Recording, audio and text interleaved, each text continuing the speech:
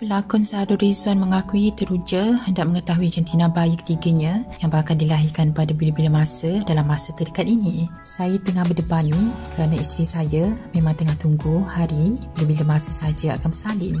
Tak hari ini, mungkin esok insya-Allah. Saya memang teruja dan tak sabar nak tahu jantina anak ketiga ni. Saya suka akan perasaan teruja seperti ini sebab saya memang suka surprise. Terdahulu, masa anak kedua juga, saya guna elemen yang sama kerana momen untuk tahu jantina bayi sebaik saja dia bersalin memang seronok.